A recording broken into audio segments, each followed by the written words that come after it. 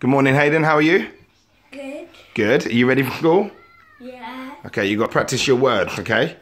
So spell the word found. F O U N D. Good boy. Spell the word night. N I H. Uh, Start again. Okay. N. N. I wasn't sure about the last one. That's fine. Start again.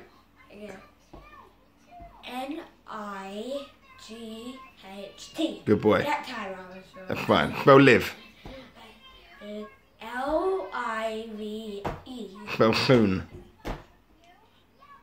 S O O uh, Yep. Spell say. S A Y. Okay. Spell night for me one more time.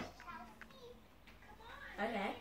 Uh, N I N I G H T. Good boy. And spell found.